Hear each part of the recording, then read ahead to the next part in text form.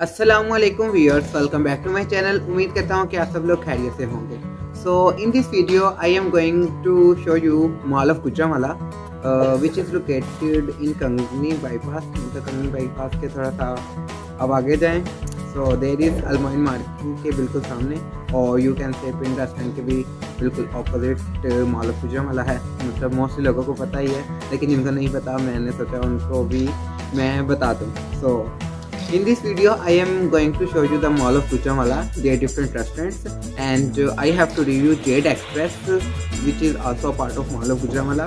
Uh, recently open हुआ है mall of Gujramala में तो आज मैं उसके बारे में बात करूँगा कि उस review so first of all please watch the video the ambience of Jade Express their uh, food video so you can easily avail the review of myself so because I am also food blogger on Instagram account so do follow me so let's start the video so uh, we have reached Mall of Gujranwala you can see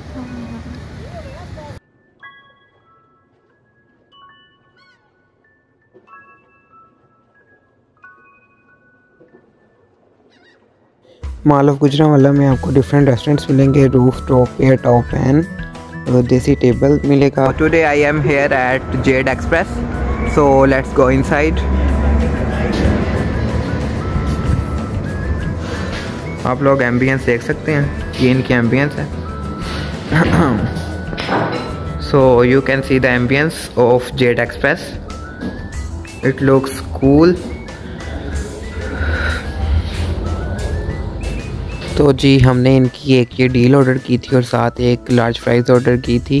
total bill बारह सौ पचास बना था। आप देख सकते हैं इस डील में ये चीज़ें इंक्लूडेड थी और इनको थोड़ा सा इस पर काम करना चाहिए फ़ूड पे, ठीक है? इतना ऑयली नहीं होना चाहिए फ़ूड को। सो बर्गर अच्छे थे, ना अच्छे होते तो फिर बहुत बुरा हो जाता।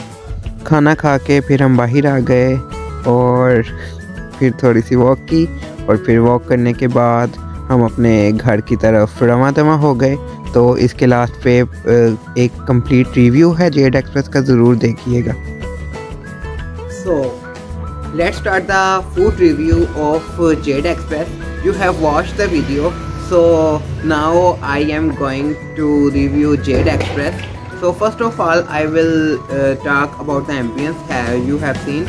It was but the food was not so good. Uh, its price was 7.99 which includes two burgers, uh, one fries and two crispy fried chicken pieces and uh, uh, regular drinks okay so first of all the crispy fried chicken was not fresh it was very oily you can say that uh, बहुत ज़्यादा oily था यार नहीं मज़ा आया, ठीक है? Chicken का बहुत ज़्यादा ऑयली था। फ्राइज़ में भी काफ़ी ज़्यादा ऑयल था, लेकिन ईटेबल थी, खाई गई थी। और बर्गर्स ठीक थे, लेकिन मैं रिकमेंड करूँगा कि आप जब भी जाएँ इनको कहें कि हमें फ़्रेश चीज़ें लगा के दें, और मतलब फ्रेश होती है ना चीज़ तो वो ज़्यादा अच्छी होती है। मुझे लगता है उन्होंने हमें फ़्रेश सर्व नहीं किया था, इस वजह से उसका टेस्ट इतना अच्छा नहीं आया है। तो आप जब जाएँ तो ज़रूर उनको कहिए, ताकि वो आपको फ्रेश फ़ूड सर्व करें ओके सो मॉल ऑफ़ वाला is the biggest mall in वाला मतलब बहुत अच्छी जगह है विज़िट करने के लिए। आप लोग भी ज़रूर विज़िट करिएगा।